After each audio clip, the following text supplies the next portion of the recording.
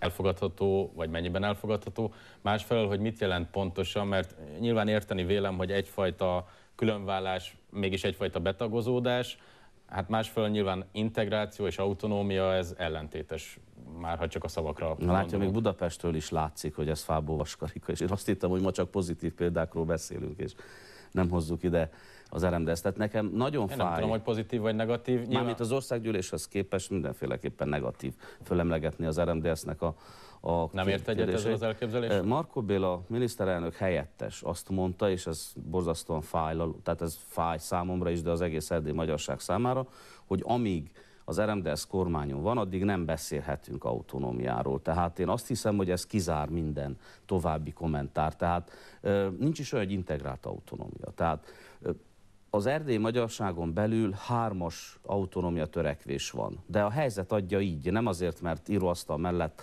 különböző elméleteket és esetleg címkéket kell kitalálni, mint hogy integrált autonómia. Tehát Székelyföldnek területi autonómiára van szüksége. Székelyföldön kívül élő magyar testvéreinknek személyelvű autonómiára, ezt szoktuk mi kulturális autonómiának nevezni, és ezen kívül van 70 olyan önkormányzat, ma Romániában, Erdélyben, ahol a magyarság többségben él.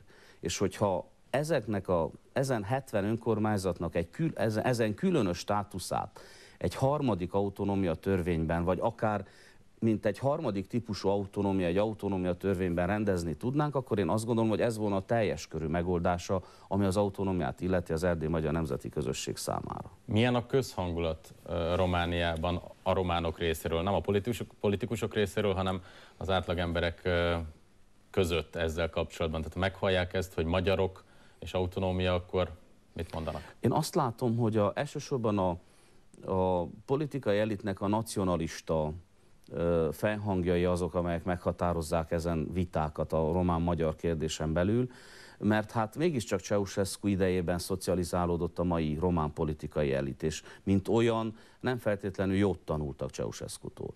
Ha csak az egyszerű embereknek a viszonyrendszeréről beszélünk, akkor szerintem sokkal könnyebb volna velük, a szomszéddal rendezni ezt a kérdést, akár a lakónegyedben, de miért nem a régiók esetében, mint hogyha esetleg a, a politikai elitre bízzuk. De mivel ugye az ilyenhez politikai döntés szükséges, én azt gondolom, hogy egy nagyon szívós, következetes, tisztességes és nyílt párbeszédre van szükség annak érdekében, hogy a többség és kisebbség viszonyát ilyen irányba rendezni. És már a párbeszédet említette, milyen az önök kapcsolata ebben a témában egyfelől a román vezetőséggel, kormányjal, másfelől külön az RMDS-szel. Említett már itt néhány gondolatot, de hát ez mégiscsak fontos, hogy hogy kommunikálnak. Ugye az ember, hogyha túl karcosan fogalmaz, akkor ez nem feltétlenül viszi előre a dolgokat, de azért nevén kell nevezni a dolgokat. És én azt hiszem, hogy Ignáci Gárdász európai katalán egyébként, ő európai parlamenti képviselőnek van igaza, amikor ő azt mondta egy Székelyföldön tartott autonómia konferencián, hogy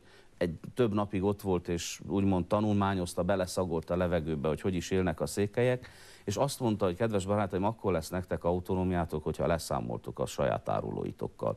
Tehát nagyon fontos, hogy mikor követet küldünk Bukarestbe, vagy Strasbourgba, vagy éppen akkor az hitelesen képviselje a mi törekvéseinket, de ne forduljon elő az, mint ami legutóbb az ENSZ úgymond jelentése kapcsán előfordult, hogy ugye a Bolyai Társaság, az Erdély Magyar Nemzeti Tanács egy jelentést elküldött, és a román hatalom, a román kormány magyar nemzetiségű, akarom mondani magyar nevet viselő kormányhivatalnokokat küldött ki ugye az ENSZ gyűlésére, ahol megcáfolták, képviselték a magyar emberek a román hivatalos politikát, és teljesen mást mondtak, mint maga a jelentés tartalmazott. És ilyen körülmények között nagyon nehéz a harcunk, és nagyon nehéz például az anyaország szerepe is. Tehát azért van szükség otthon őszinte politikai képviseletre, mert ez véleményem szerint a mai Kárpát-medencei összmagyar problémát legkönnyebben a nemzetközi porondon megjeleníteni, ami érdemi megoldást is jelent a közösségeink számára, az éppen az autonómia. Elnök úr, meglátjuk, hogy mit hoz a jövő. Köszönöm, hogy eljött. Én is a lehetőséget.